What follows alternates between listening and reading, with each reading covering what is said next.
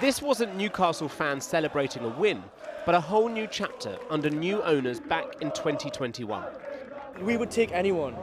We would take just Barry from down the road or just anyone that could buy the club. But it wasn't Barry down the road, but a group led by the PIF, a Saudi Arabian wealth fund which bought the club. Critics argued this was sports washing, alleging that the state ultimately itself had control in the club. But the Premier League, Newcastle, and the PIF all denied this, saying there was a clear separation between the country and the takeover. They are legally binding assurances that the, essentially the state will not be in control of the club.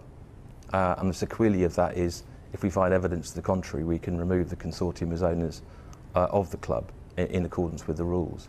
That's all under question now, because in US court documents this week, the PIF admitted that Yasser Al Rumayyan, the chairman of Newcastle, is, quote, a sitting minister of the Saudi government, and that the PIF is a sovereign instrumentality of the Kingdom of Saudi Arabia.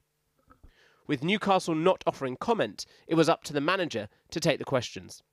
What have you made of the situation and have you had to seek any assurances from above that, that everything is, is, is okay? I've not sought any assurances. To be honest, I've not given it too much time. Um, I'm aware of the headlines. I've seen the headlines, but I haven't really invested in, in the details behind it. The Premier League also refused to comment today, but reports suggest other clubs in the league are angered by these developments, and Amnesty International has called on the Premier League to re examine the takeover. Newcastle fans who do have concerns about Saudi ownership should look at this as an opportunity to speak out about those concerns, to highlight the cases of people who have been persecuted by the Saudi state, uh, and, and ultimately maybe have a bit more faith that Newcastle can be a successful club without requiring the support of a murderous regime to do it.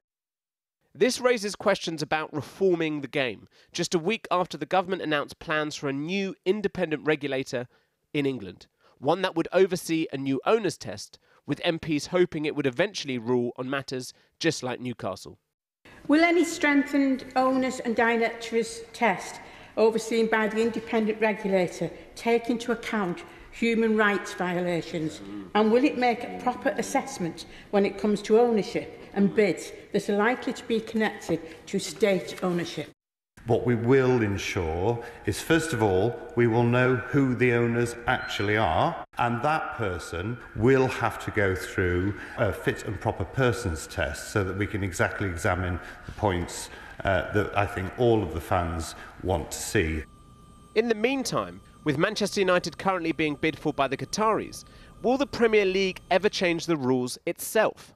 There has been talk from the Premier League with regards to some form of moral or ethical code being introduced. Whether this will apply retrospectively, we don't know, and whether it will have genuine teeth because one man's, one man's tyrant is another man's hero. With any reform a long way off, the focus returns to the football this weekend. First game up, Newcastle take on Manchester City, who were recently charged for alleged historical financial breaches they have always vociferously denied any wrongdoing. They're also owned by Abu Dhabi's royal family. An example of how in this global league, the story is often not made on the pitch, but off it.